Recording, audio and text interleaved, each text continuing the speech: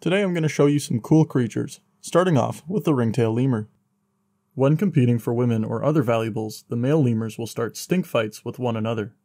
These little guys have scent glands on their body that produce a foul odor, and when a stink fight starts, they'll run their tails through the glands and then flick their tail to send the stench at their opponent.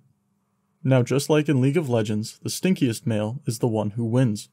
These fights usually last until one lemur can no longer stand the smell of the other and gives up.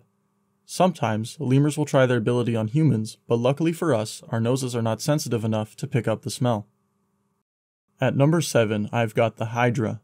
This tiny little creature has constantly renewing stem cells, basically making it immortal under the right conditions.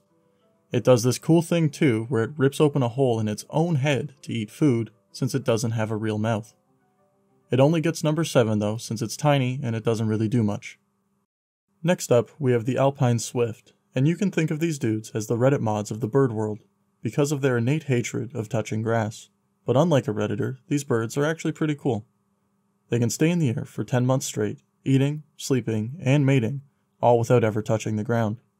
They don't just have endurance though, they're also really fast, sometimes being clocked at over 100 kilometers an hour. Now this is fast, but it's not nearly as fast as you guys running to the comment section to tell me I'll never be as good as Salmonella.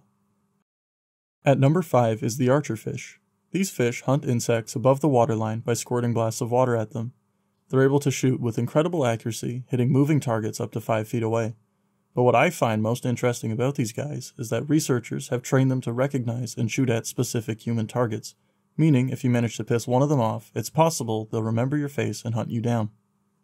Next up, at number 4, is the Alaskan wood frog, aka the piss boy. These frogs get their nickname because they hold in their pee for 8 months while hibernating. Now this isn't just some weird fetish, because during the winter, the frog's brain, heart, and bloodstream all stop as the frogs freeze. No worries though, the frogs have special gut microbes that recycle their stored pee into nitrogen, which keeps their cells and tissues alive. In the winter, their body temperatures can get as low as negative 18 degrees Celsius, but despite being entirely frozen, their pee nutrients keep them alive until they thaw out in warmer weather. So now we're on to the top three, and starting off the list is the African dung beetle. Now, dung beetles are commonly known for being the strongest insects in the world, but they're also expert navigators. They operate at night and use the light from the moon and stars to orient themselves for navigation, and on a clear night, the beetles will move in a straight line to their destination, but if there's clouds on the way, they kind of just get lost and stumble around. Since they're so low to the ground, in order to get a better view of the sky, they'll climb on top of their ball and spin around a bunch while looking at the stars. This kinda makes it look like they're dancing, so the dung beetle gets third place for its sweet moves, being jacked, and its cool way of navigating. In second place, we've got the lancet liver fluke, also known as the zombie flatworm. This parasite starts its life as an egg nested in sheep or cow poop.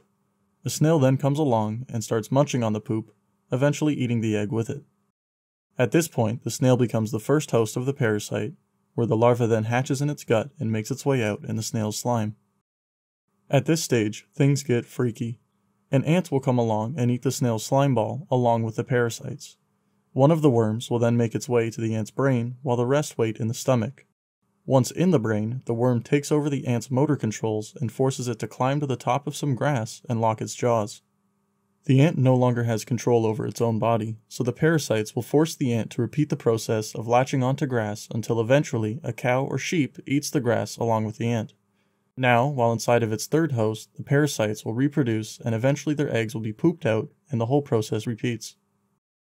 So before we move on to our last creature, I want to show my picks for the honorable mentions. First, we got the Jesus lizard. There isn't much to this dude, but he uses his webbed feet to run on water. Nothing too crazy, but I like his name. Next, we've got the peregrine falcon. And just like the lizard, there's really not that much to these guys. They're just fast as hell. They've got a top speed of 240 miles per hour, which makes them just a bit slower than a Bugatti Chiron and not worth putting on this list. Lastly, we've got the silver ant. If their colony ever floods, these ants will group together to form a raft out of their own bodies. Their raft isn't just randomly formed though. Each ant has an assigned seat that they will always return to in case of another flood. There's also this thing called the immortal jellyfish that can revert back to the start of its life cycle if it gets injured or too old. From the starting phase, they can create identical copies of themselves and continue living. This technically makes them immortal, but they end up dying of disease or getting eaten by predators all the time, so it's really not that cool. Now, if the immortal jellyfish really was immortal, that would be pretty sick. But it still wouldn't be as cool as Little Snake. I mean, look at this guy.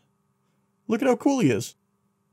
Anyways, moving on to the coolest creature and the last one on this list, we've got an absolute freak of an insect, the assassin bug.